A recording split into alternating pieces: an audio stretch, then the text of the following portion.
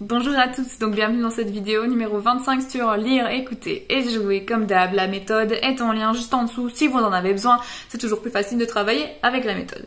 Donc, euh, numéro 25, aujourd'hui on a dit, hein, 25... Alors, je vois qu'on a le si qui se rajoute par rapport aux partitions précédentes, donc on l'a déjà vu, mais là elle revient, donc ce sera du si au sol, donc si, do, ré, mi, fa, sol.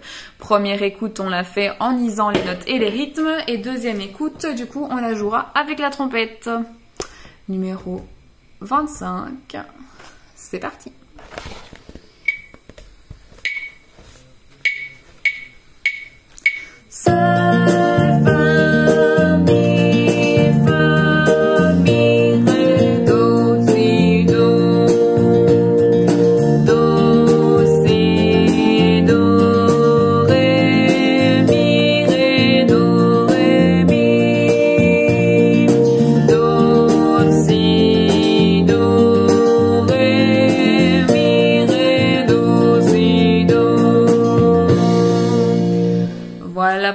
Numéro 25. Donc ça c'est pour la lecture. Si ça ne va pas, refaites-le, refaites-le, refaites-le jusqu'à ce que ça fonctionne. On fait le 25 avec la trompette. Ça pareil, si vous voulez prendre du temps pour le travailler avant de le faire avec moi, évidemment prenez-le. Je veux dire quand il y a des élèves qui venaient à mes cours ou qui viennent encore, ben à ce moment-là, euh, c'est des morceaux qui travaillent chez eux et puis après, ils me montrent au bout d'une semaine ce qu'ils ont fait. Ils savent pas le faire comme ça directement, d'accord? Donc mettez en pause, travaillez-le, et puis après, essayez de le faire avec moi. C'est toujours bien de le faire une première fois juste pour tester et voir où vous en êtes en fait. Mais vous inquiétez pas si vous n'arrivez pas du premier coup, c'est normal. Numéro 25 avec trompette.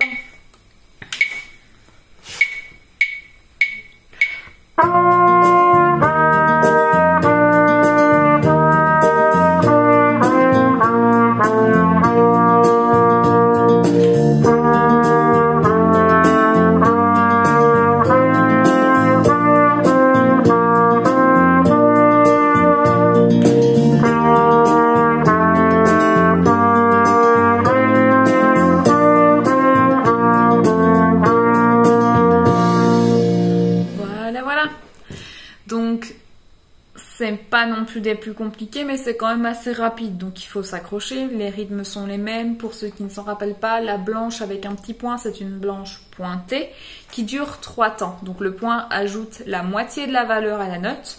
La valeur d'une blanche, c'est 2 temps. Vous ajoutez la moitié de 2, ça fait 1. 2 plus 1 égale 3. Donc, 3 temps pour la blanche pointée. Alors, pour le numéro suivant, donc nous verrons le 26 au prochain cours. Comme d'habitude, tant que celui-ci ne va pas, vous ne passez pas au suivant, sinon vous aurez des lacunes pour la suite. Et une fois que c'est bon, eh bien cliquez sur la vidéo suivante. Je vous retrouve très très bientôt. Bon courage et bon travail